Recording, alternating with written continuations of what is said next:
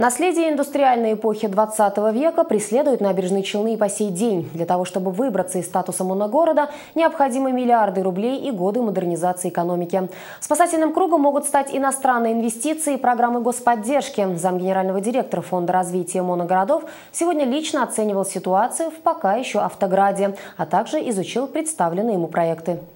В России почти сотня моногородов, которые находятся в так называемой красной зоне. Среди них и набережные Челны. Это значит, что наша экономика сильно зависит от градообразующего предприятия, а инфраструктура пока не очень приспособлена для других видов производства. Исправить ситуацию помогают такие площадки, как, например, Камский индустриальный парк «Мастер». То есть и деньги, которые генерируются внутри проекта, они остаются здесь, да, и идут на дальнейшее развитие э, проекта. Но и они нуждаются в поддержке и инвестициях. Один из заявленных городом проектов – развитие экипмастера. Тут базируется малый и средний бизнес различных направлений. Некоторые резиденты до этого размещались буквально в гаражах. Среда для развития здесь очень положительная, здесь удобно, все расположено, все есть, хорошо сотрудничать.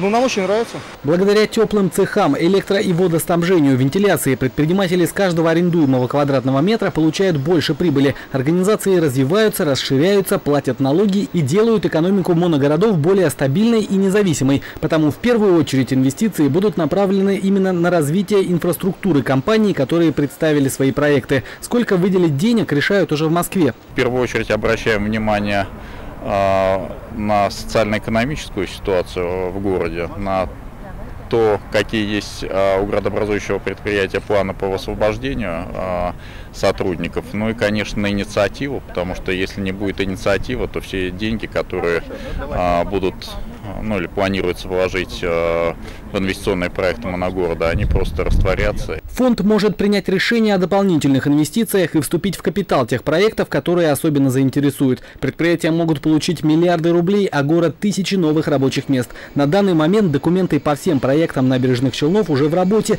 Это не только индустриальные и промышленные парки, которые собирают под своей крышей резидентов, но также инновационные предприятия и даже крупный металлургический завод. В 2008 году набережные Челны уже получали деньги по программе поддержки и модернизации экономики моногородов. Тогда примерно из десятка проектов выбрали 4. На этот раз заявили 7. И какие из них будут одобрены, пока неизвестно. Но рассчитывают, что решение будет принято уже в начале июля.